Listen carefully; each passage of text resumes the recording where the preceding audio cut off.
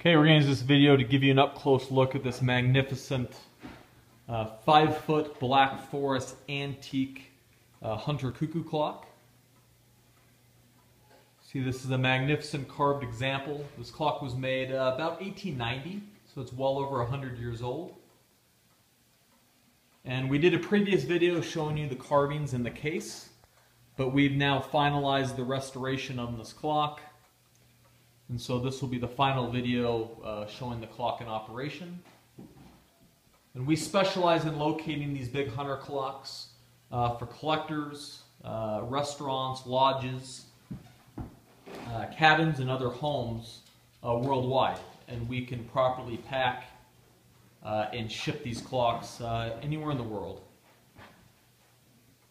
Uh, this clock is fantastic because you can notice it's key wound, so there are no weights, there are no chains.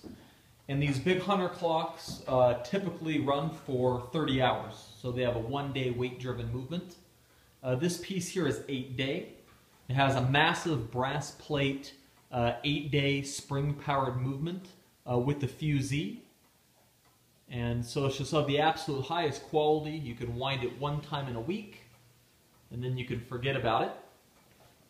And because this clock is so large, not having to deal with the weights and the weight drop, uh, it gives a lot of flexibility in its display. So this would be perfect to put above a mantle uh, where you don't have room for the weights to drop, uh, but you'd still get that, uh, that long-running duration.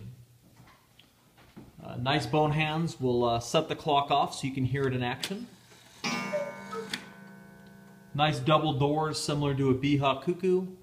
At 9 o'clock we'll get 9 cuckoos here.